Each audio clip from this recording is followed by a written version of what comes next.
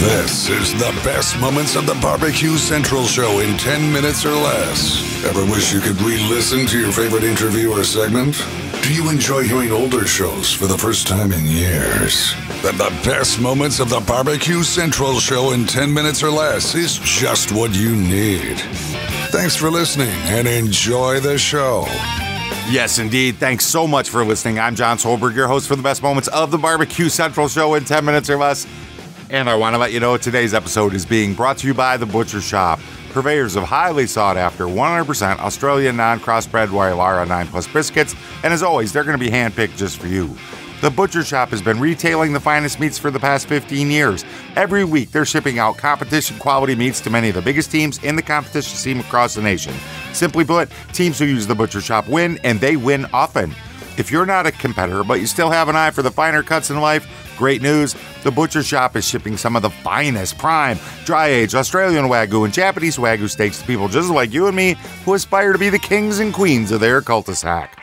The Butcher Shoppe always has Berkshire, Compart Duroc, Allegiance Duroc, and Prairie Fresh all natural pork in stock. And again, it's always handpicked for you.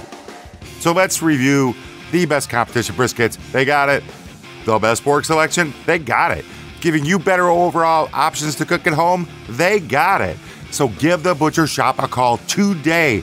850 458 8782. That's 850 458 8782. You mention the Barbecue Central show, and they're going to give you 10% off each and every time you make an order. You can also check out their Facebook page, facebook.com slash the butcher shop. Shop is spelled S H O P P E. The Butcher Shoppe, home of the 100% Australian non crossbred Wylarah briskets. And in today's show, I'm going to get kind of freaky. I don't even know what to say about this. I don't even know if I should do this.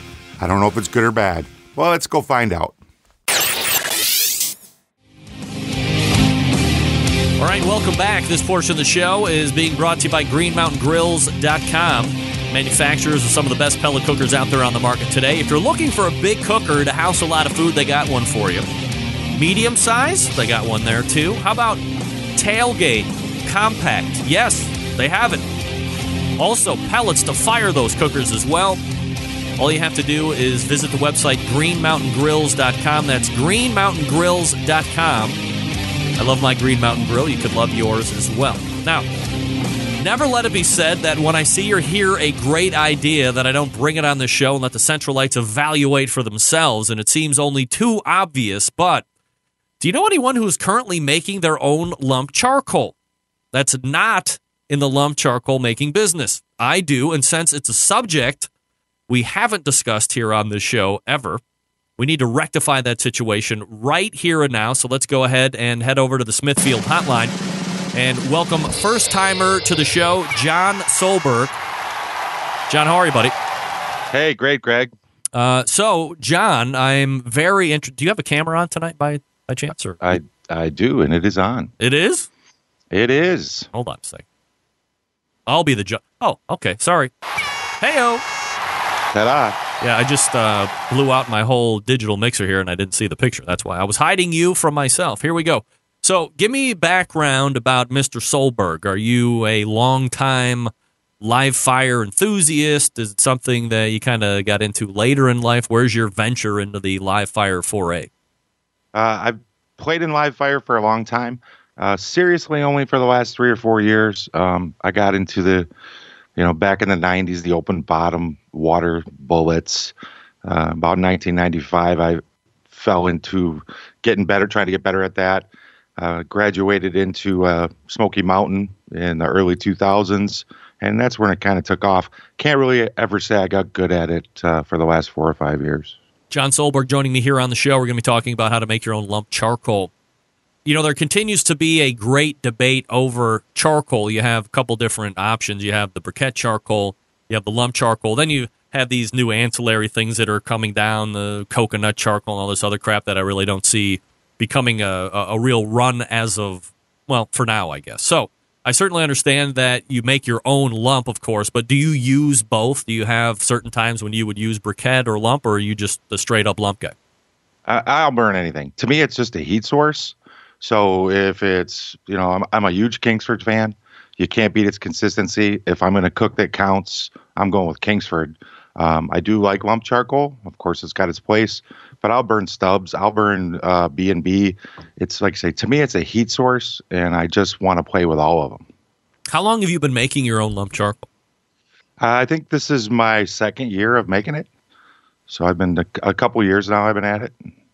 I had mentioned in the open that I think, you know, from time to time you might hear somebody talk about making their own, or for me, it was probably over a decade ago when uh, a very famous inventor, Fred Pirkle, uh, who did the Barbecue Guru, talked about maybe bringing something to market, but it never happened.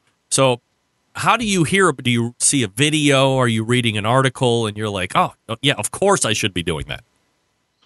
Well, it all started when I stumbled across Amazing Ribs, the Zen of Charcoal. And uh, there were some great links to some videos of talked about the Colliers of Pennsylvania who went out into the woods and made mountains of charcoal to smelt iron with before the coal industry. And it just kind of developed from there. And so I was very interested in that, but you're like, well, that doesn't make sense. That's not practical.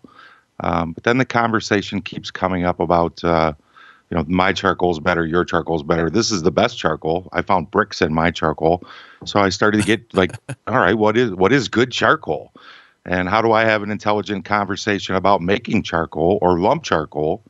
So I started digging into it. There's a ton of information out there about making biochar. So there's a lot of people making charcoal for different reasons other than cooking.